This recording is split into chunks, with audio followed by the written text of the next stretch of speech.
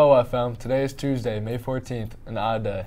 I'm Kevin. And I'm Kyle. And in today's announcements, seniors, show off your post graduation plans tomorrow by wearing a t shirt, clothing, or other accessories that represent your plans after high school. Plan to film in the foyer during free, uh, during free periods for senior video tomorrow, too. Stay tuned for a schedule and location. Please note that only student athletes should be in the sports study hall. All other students should be going home or staying after with a teacher. Summer school registration is now available. Stop by the counseling office if you plan to take your health class through the duration of the summer. This week you have the chance to buy tickets for prom and ball, but not today. No ticket sales today because of the faculty meeting. Prom is $50 and ball is 55. If you are bringing a guest to ball from outside the FM district, please submit a completed guest form to the SAO for approval before purchasing the guest ticket. Guest forms are due in the SAO by Friday, May 24th. And now over to Kevin. Thanks, Kyle. All National Honor Society members must bring their must bring their Camp Good Day donations to either Miss Lawachu's Ivaku's room 1205 or Mr. Worm's room 1216 by Friday at 3 p.m. Any questions, please see your officer. While the seniors are donating to the cause, do the rest do the rest of you want to volunteer at Camp Good Days this summer? Applications must be tuned in, turned in tomorrow. Visit their website.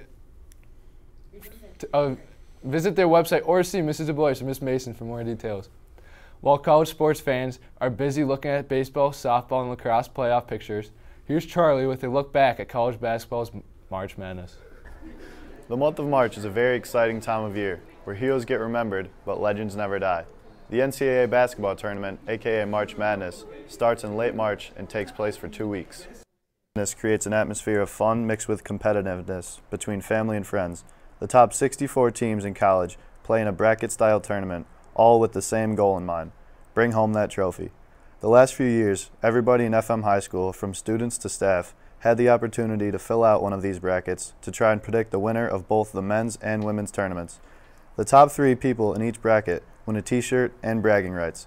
Mrs. Petroulis, our head library media specialist, brought this exciting event into FM. She wanted to connect the students in a more unique way than just the traditional uses of the library.